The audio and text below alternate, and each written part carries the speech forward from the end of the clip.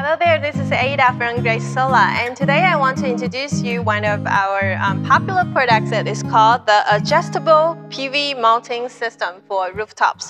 So here you can see um, have an extra adjustable feet over here, and this system is adapted to those um, rooftops that with no angles.